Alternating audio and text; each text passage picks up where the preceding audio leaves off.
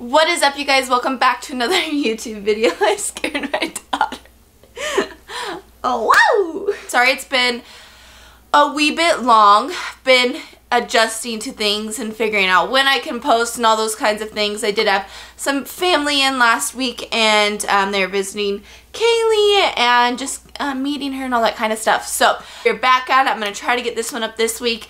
And yeah, I mean, we're going to go over how month one went. So my plan with updates now is to do one month update of like kind of postpartum so you guys can figure out what I'm doing and how the weight loss journey is going, how breastfeeding is feeding is going and any questions you guys have comment them down below, comment on my Instagram, I'll keep track of them and make sure that I answer them in like each month update. So I'll do a month update of postpartum and within that I'm going to do a month update on the baby as well. So if you have a one month old baby, you could kind of know maybe what to expect. Every baby is different, so do keep that in mind. But I just want to like share my struggles and her struggles and our struggles together and just figuring out each other and all those kinds of things. And I think it will help a ton. So that is my plan moving forward every time that she turns a new month, which is towards the end of the month, that's when this video will be up. This one is kind of a, a little late, but that's okay. We're still going to get it up. Anyways, guys, without further ado, let's just go ahead and get into this video. So, one month update. Are you going to let me do it? Huh? Little on the edge, but we're going to go for it. She's kind of just listening to me, so this is kind of working. So, anyways, first I wanted to start with the emotions of postpartum. Now, I feel that everybody is different, so really, really keep that in mind as I am talking about my own personal journey that yours might be completely different. And don't feel down about yourself if you are way more emotional than me or anything like that because that is 100% okay and that totally comes along with this. So, but if you are having, you know, more type of depression type stuff, then definitely talk to your doctor. But my emotions, I felt they were pretty darn normal. Um, I did have my moments. I have had my moments of getting very down about my body when I do look in the mirror and seeing stretch marks and all those kinds of things. It's like, oh my gosh, my body's completely different. The loose skin, the wider hips, just all the above. Like ladies, you know what I'm talking about. And it's just like, oh my gosh, my body is not the same. It's not the same. But I am learning every single day that I will have my body back. I'm here to prove that you can have your body back and I want to give you guys hope and show you that you will have your body back and when you look into your little one's eyes you know that this was all worth it. You know that this beautiful gift was a gift from God that I can't even begin to thank him enough for. And I just remember every time those negative thoughts come into my head or when I start to look at myself and put myself down, which I should never do because what like us women do is amazing. Amazing. Men could never go through that, which they can't. But if they could, they would not be able to do it. They would not. that is what I think. My first like anxiety, like our first outing was like on Mother's Day, like at a restaurant and that was the first time I had like a type of like being in public anxiety, if that makes sense. Like we're sitting in a restaurant, I'm like, please don't cry, please don't cry, please don't cry. And like, why does it matter if she cries anyways? I just care too freaking much about what other people think. Like, oh, I don't want to ruin their dinner or all those types of things when none of that freaking crap matters. Like, it does not matter. So don't let that like get to you even though you might go through. But as I keep going out in public and those types of things, I am becoming a lot more just like comfortable and like if she screams, she screams. I can't do anything about it. You know, I'll whip out my boob, I'll do what I can. Most of the time, that'll keep her quiet. And she just farted, so that's great. But that dinner went amazing. She was asleep the whole entire time and didn't even cry. So I don't even know what I was worrying about. Next, breastfeeding. So um, the first month of breastfeeding for me has gone really, really well. I feel like my milk supply is pretty good. I am pumping once to twice a day um, as of right now. And when she was born, she latched immediately. I never really had those problems. And I know a lot of people do have those problems and my heart goes out to you because I cannot even imagine the frustration of that. I am just like always leaking. Like that's the most annoying thing is like I'm constantly like my shirt is wet. And so I'm always changing out like the pads, changing my shirt and like stuff like that. Like people say it gets better, but I'm like, when? Because this is a little ridiculous. I think that I have an overflow letdown so sometimes it causes her to choke while she is on the boob, which it freaks me out. I'm like, psh, and like put her up and hurry and like pat on the back because it just freaks me out. I do know that I have like an overflow of letdown and I can feel when it comes in. It's like this like electrocuting like type feeling. Like no one tells you about that feeling. It's like electrocuting feeling coming through your boobs, man. It's like, like here comes the milk like, you know, some people don't feel their letdown, but I definitely do. At least I know when the milk is starting to come in. Are you talking? Who's talking? The letdown, yeah, it gets super annoying, but people have told me about the Haakaa or Haakaa. I'm not sure of how to say it, but it's H-A-A-K. I don't know how to spell it. Never mind. Um, but it's something like that. So um, people have told me that like when she's breastfeeding on this one, like to put it over here because this boob is like it was, it's gotten better, but it was constantly getting her like soaked. So I'd have to change her clothes as well. Like it's not the boob was out, it was in my clothes, but it was still getting her wet. So that was annoying. But I think it has slowed, it has slowed down some. So next I wanted to kind of talk about like the postpartum bleeding the bleeding for me was not that bad. I mean, those underwear you get to wear after the hospital, woo, sexy. Let me tell you, the underwear that I bought, if you go back and watch like my hospital bag that I have in my hospital bag, the underwear worked fine for me. I did not have a problem. I did get thicker pads from when I was at home. I tried to like start going down as soon as I could so it didn't feel like I was always wearing a diaper because that was annoying. it was like when I walked, it sounded like I had like a snowsuit on or something. it was disgusting. I'm like, this is so attractive. But the postpartum bleeding was not that bad. It ended up going down pretty quickly, um, like the heavy bleeding. But the bleeding probably lasted the entire month, to be honest. Um, it really, really did. I was able to switch to like a regular pad or like a light pad most of the time. So then, come May 25th was my postpartum appointment. It was supposed to be the first week of June, but I was like, I'm feeling way too good. Like, I do not want to wait five weeks. Like, let's they'll let me come in at four weeks. And they totally did because they say four to six weeks. And I was feeling completely fine. The vag was feeling good. Like, I was fine. So we went in. That appointment, like, girls, if, girls, really, we are women over here. Ladies, if you are nervous about the postpartum appointment, like I, cause I didn't know what to expect, and at least this is what she did at my doctor's. She just came in, wanted to see the baby, and just talked. Like we literally just talked she um, asked if I wanted to be checked and I said I was completely fine. I did not need to be checked. Nothing was hurting or anything like that. If something was hurting, I definitely would have had her look at it. Um, so that appointment, you kind of just have to go in so they can get you on the birth control. You have the choice of the IUD or you have the choice of the pill. Now I was on the pill before, so I wanted to be back on that. I decided to do that. But if you are breastfeeding, they'll give you one that does not have estrogen in it. So I'm on that pill. It's a pill you take every single day. If you were on the birth control pill before, you'll know that the last line of your pills, there's those are like your period pills. Now on this pack, you don't have that because I didn't realize that breastfeeding takes away your period. Um, I had no idea. And then that kind of like makes it kind of go away. She said that some girls will get a period, but when I first got on it, I was like kind of bleeding like every other day, but now recently I haven't been bleeding at all. So we'll kind of see how this month goes with that, but I'm not sure. It's been going fine. The only thing that I've noticed is my skin has become a lot worse, like super, super dry. I don't know why, because it's summer here and that's when it's like not that dry here. Whew, let me tell you, like I have dry patches on my face, like just really bumpy, like underneath the skin acne, I feel like. After, I want to talk about working out because, oh, girl, let me tell you, like I needed working out back in my life. Like I needed it back in my life so bad.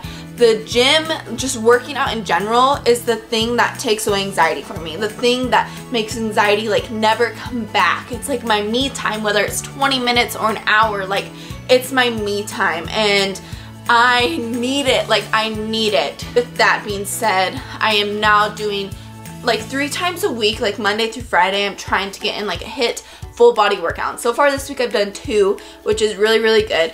Um, the weekends I'm going to go to the gym because her dad can watch her be like an hour. So my plan is to like hit like back and bis maybe one day and like legs and like some shoulders. Like I'm gonna have to double up on something or um, do like legs and backs or bis, shoulders, and a little bit of tris. That's probably something that I'll do like that instead. Um, that sounds a little bit better, but I haven't really gone over it. Or focusing on my diet and making sure I'm getting in good foods for her um, and things like that. So that has kind of been my postpartum journey, you guys, as of month one. It's been really, really good.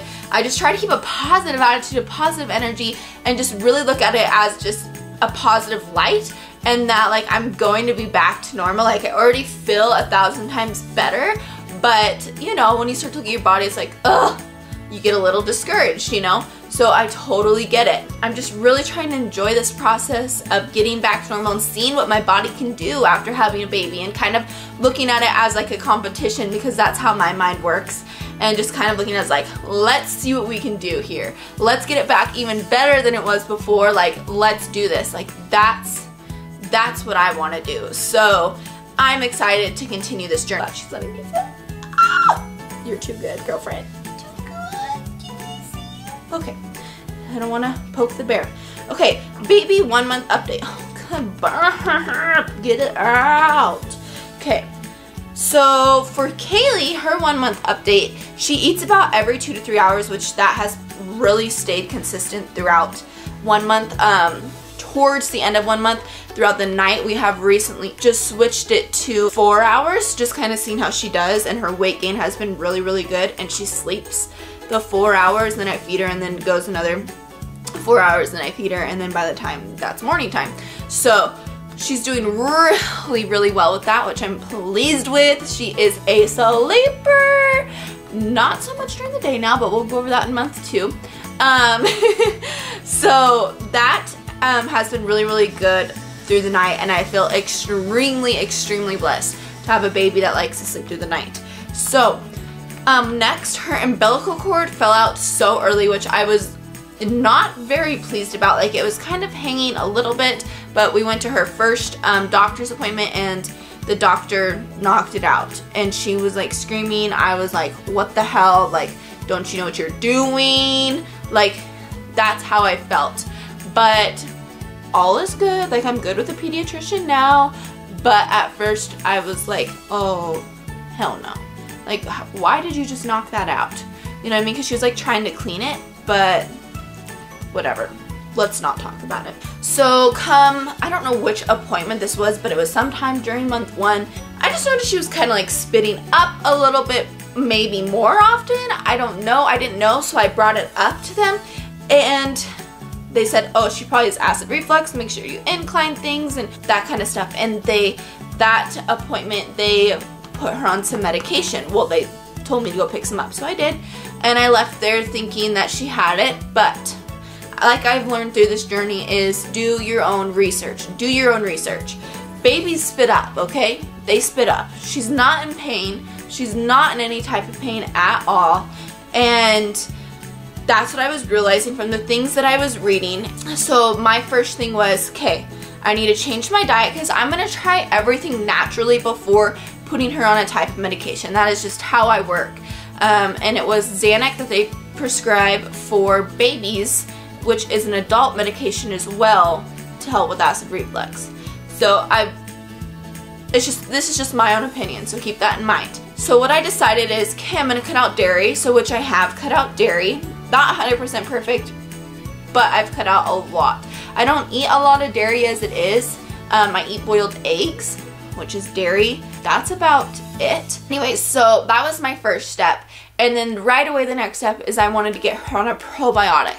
I heard that that helped a lot. So for now, for a month straight, she has been on a probiotic, an infant probiotic that is liquid that I give her every single morning.